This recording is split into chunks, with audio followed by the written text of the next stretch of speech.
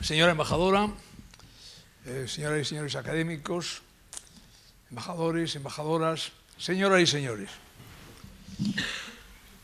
Alguien ha dicho que en los países enfáticos el énfasis es lo natural. Esto no es característico de Polonia, pero es que la embajadora es universal. Es polaca, hace honor a Polonia, pero también a Europa y al resto del mundo. Y nosotros en el Instituto de Estudios Europeos nos beneficiamos de su presencia todos los meses. Yo creo que vamos a hacer reuniones más frecuentes para que venga más a menudo y aprendemos... Y sono aduladori pelotari, lo adoro. Bueno, yo soy vasco, de manera que es natural que sea pelotari.